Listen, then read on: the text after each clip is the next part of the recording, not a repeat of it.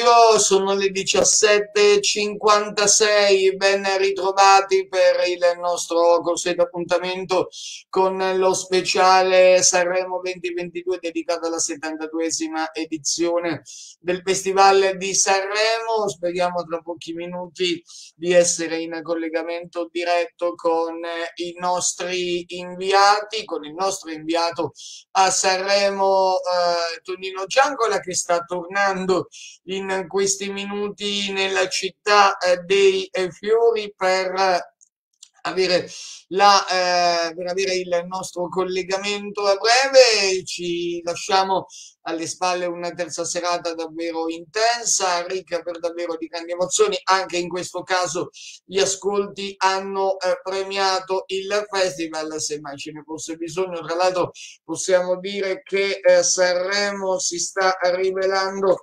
davvero una eh, molto importante anche con tanti ospiti che si sono avvicendati nell'arco di eh, queste eh, ore e tra l'altro c'è anche da dire che c'è stata una in, importante telefonata che è giunta ad Amadeus da parte del eh, Presidente della eh, Repubblica eh, Sergio Mattarella. ha fatto auguri ad Amadeus a come, è and- come sta andando eh, la eh, Kermesse.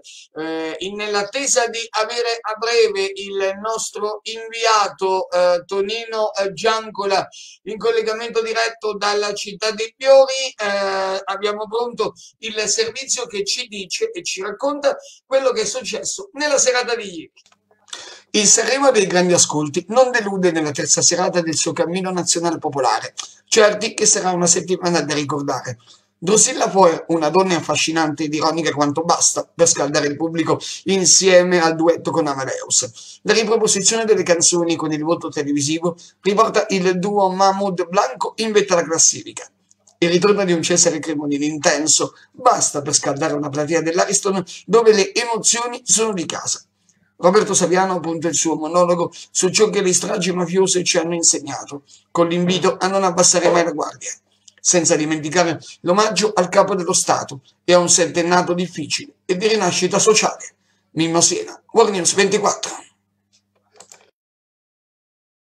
E queste dunque sono le emozioni che ci hanno portato ieri nella serata di Sanremo. Vi dicevo poco fa che Amadeus eh, ha ricevuto oggi la telefonata del Presidente della eh, Repubblica, eh, Sergio eh, Mattarella. Era commosso per l'omaggio che il Festival gli ha tributato e ha confessato di essere una grande fan di Mina eh, ha detto, eh, tra l'altro eh, Amadeus ha fatto eh, presente che le preferenze musicali dell'inquilino del Colle sono un altro dei rari dettagli sul privato eh, emersi negli ultimi giorni che tutta Italia ha passato osservando le mosse del Parlamento e dei principali leader politici. Anche ieri la serata è stata abbastanza intensa, è stata seguita da tantissimi eh, telespettatori con punte anche che sono arrivate al eh, 54.8 CER va anche eh, ricordato ehm, che ehm, insomma le canzoni sono state abbastanza belle, ieri sono state riproposte tutte 25, ieri c'è stato anche il televoto che ha ripremiato eh, Elisa che è balzata, eh, che ha ripremiato scusate Mahmoud e Blanco che sono ripassati in vetta alla classifica con il loro eh, brano eh, Brividi. Noi teniamo ancora la linea per qualche minuto, magari il... Eccoci qua, scusateci. Ecco, noi restiamo ancora collegati. Magari il nostro inviato eh, Tonino Giancola evidentemente eh, ci fa, ci potrà eh, eventualmente eh, farci sapere se eh, riesce a collegarsi. Intanto noi gli mandiamo il messaggio. Tonino, comunque noi siamo collegati. Se sei in viaggio, comunque puoi metterti in contatto con noi tranquillamente. Allora, abbiamo mandato il nostro eh, messaggio al nostro inviato, quindi vi dicevo che eh, Sanremo ieri ha registrato punte intorno al 54% di share, molto seguito ovviamente soprattutto in tutte le fasce, dai giovani ai meno giovani per arrivare fino a quelli di una certa età ed evidentemente questo è un segnale che mette in evidenza come il Festival di Sanremo, ma soprattutto anche il ritorno del pubblico ne abbia ampiamente eh, beneficiato. Eh, ormai eh, si può dire che piano piano stiamo uscendo dalla pandemia questa è già una notizia eh, sicuramente importante ed anche eh, di peso. Eh, tra l'altro vi voglio dire che in questo momento ehm, si stanno completando le prove per quanto riguarda riguarda la quarta serata del festival va anche ricordato e detto che oggi saranno in scena le cover, cioè le proposizioni di alcuni celebri brani che hanno segnato la storia della musica italiana, ma anche eh, di Sanremo. Eh, stasera sarà Maria eh, Chiara Giannetta l'interprete di eh, Blanca ad essere protagonista dopo eh, la condizione legata alla Flor che ieri è stata semplicemente eh, strepitosa, meravigliosa sotto tutti i punti di vista, come dire che da queste parti quando si sente parlare eh, di eh, tante cose anche Sanremo mette in evidenza il tutto, eleganza, eleganza eh, compresa. Eh, allora, eh, vediamo un attimino, siccome in questo momento io non lo vedo collegato eh, Tonino Giancola, proviamo ad avere un collegamento diretto con lui, magari in versione audio, in modo tale da eh, poterlo eh, magari eh, avere al telefono eh, in collegamento audio. E vediamo un attimino se almeno in audio lo possiamo evidentemente sentire lo stiamo facendo squillare il telefono, quindi vediamo un attimino se Tonino Giancola riesce a risponderci, evidentemente, altrimenti riproveremo tra qualche minuto. In ogni caso, eccoci, eccoci. Tonino è in diretta, siamo in diretta. Tonino, ci sei? Sì, Mimmo, ci sono. Siamo un po', eh, siamo un po' incasinati quest'oggi perché eh, capire che una giornata così importante eh, per via delle cover, uh-huh. e allora Sanremo è presa d'assalto da, da tanti giovani arrivati qui a Sanremo, presidiano i punti, di, punti nevralgici importanti di Sanremo, eh, l'Hotel de Paris che è l'albergo dove alloggia Mahmoud Blanco e qualcun, e qualcun altro, quindi e tutti questi ragazzi e ragazze che sono nei pressi di questi alberghi sostano, immagina, da questa mattina alle 7 erano già almeno in 50 davanti a questo albergo. L'Hotel de Paris che è pochissimo distante dall'albergo dove alloggiamo noi, eh, quindi sulla strada sul lungomare di Sanremo, è la strada che poi porta direttamente all'Ariston. Torino, eh, oh, eh, ieri è stata una serata abbastanza intensa, sappiamo anche che la classifica è stata in pratica capovolta, nel senso che sono tornati in testa Mahmoud, e, eh, Mahmoud con Blanco eh, insieme con Brividi. Insomma, questo fa capire che il testa a testa con Elisa sarà abbastanza emozionante fino alla fine.